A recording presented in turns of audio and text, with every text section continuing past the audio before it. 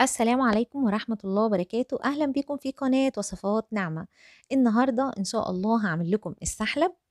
وطبعا عايزين نقول بقى معلومات عن السحلب. السحلب ده بيتزرع في بعض الدول العربية وكمان مصر.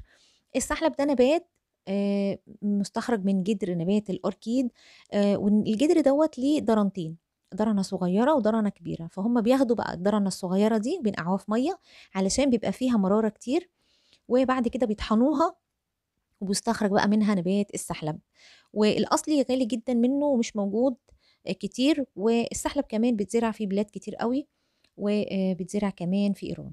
فإحنا طبعا النهارده هنعمله بقى بمنتهى البساطة وهيطلع منه كمية حلوة قوي طعمه حلو جدا وهنضيف عليه إضافة كده هتميزه وتخليه كمان طعمه حلو. إن شاء الله تعمليه في البيت ويعجبك ويعجب ولادك وأحلى بكتير من اللي بتشتريه من بره. فهنسمي بسم الله ونقول مع بعض على المقادير بتاعته. أول حاجة في المقادير عندي معلقتين كبار سمسم محمص وجاهز كده وثلاث معالق كبار سوداني محمص ومجروش ونص كوباية جوز هند ونص كوباية نشا كوباية كريم شانتيه محلى كوباية لبن بودرة وكيسين فانيليا كوباية دقيق رز. عندي كمان الإضافة بتاعتي اللي هي المستكه المستكه المفروض تكون نوعها كويس هنطحن منها بس ربع معلقة صغيرة وهي دي إضافة بتعمل طعم حلو قوي ومش عايزة تضيفيها مش مشكلة بس بجد بتميز البودرة بتاعه السحلب بتاعه وبتخليه حلو جدا.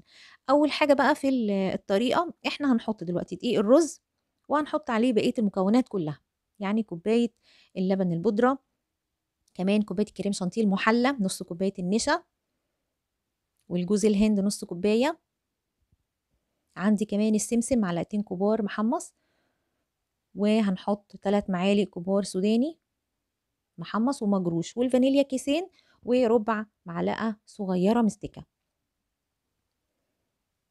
وهنقلب الحاجات دي كلها كده مع بعضها. شفتوا بقى طريقته سهلة جدا إزاي وكمان هيطلع لي كمية حلوة قوي تكفيكي وقت طويل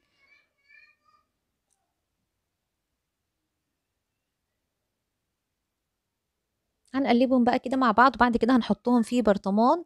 البرطمانات اللي عندي المفروض تكون معقمة وناشفة كويس جدا وهحطها بقى كده في التلاجة أو هحطها في المطبخ عادي عندي بس يكون جيد التهوية. هتطلع معايا كمية حلوة برطمان الكبير ده. وكمان برطمان ربع كيلو كمان صغير كده.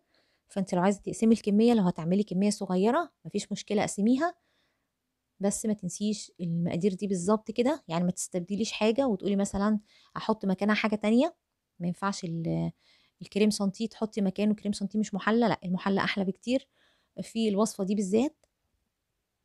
بصوا بقى كمية حلوة جدا ويلا بينا نعمل على طول السحلب بتاعنا علشان أوريكم بيبقى شكله عامل إزاي. عندي أربع كوبايات أو أربع مجات حليب لبن يعني.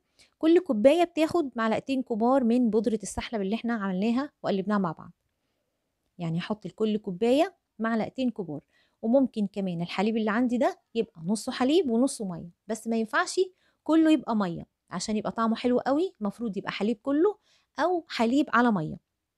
السكر بقى على حسب الرغبة يعني انت ممكن كل كوباية تاخد معلقة لأن كمان ما تنسيش إن اللي انت حاطة كريم سانتيه محلى فانت بتراعي بقى السكر اللي في الكريم سانتيه. هنقلب الحاجات دي كلها على البارد.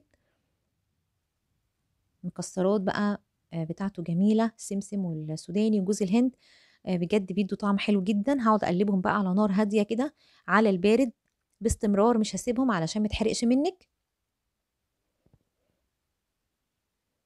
طبعا لو عايزة تخليه تقيل شوية في ناس بتحبه تقيل شوية السحلب فانت بتزودي بقى بودرة السحلب اللي عندك براحتك والسكر براحتك برضه.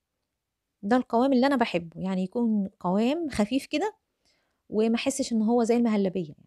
بحس إن هو زي الكريمه كده جميل بجد طعمه كريمي وحلو جدا.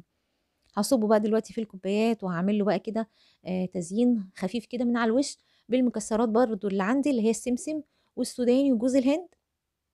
حاجة كده للتقديم وحاجة تفرح ولادك وتخليه كده شكله مميز. أي مكسرات عندك عايزه تحطيها من على الوش أو في الخلطة بتاعته مفيش مشكلة بس هي دي الحاجات الأساسية للسحلب.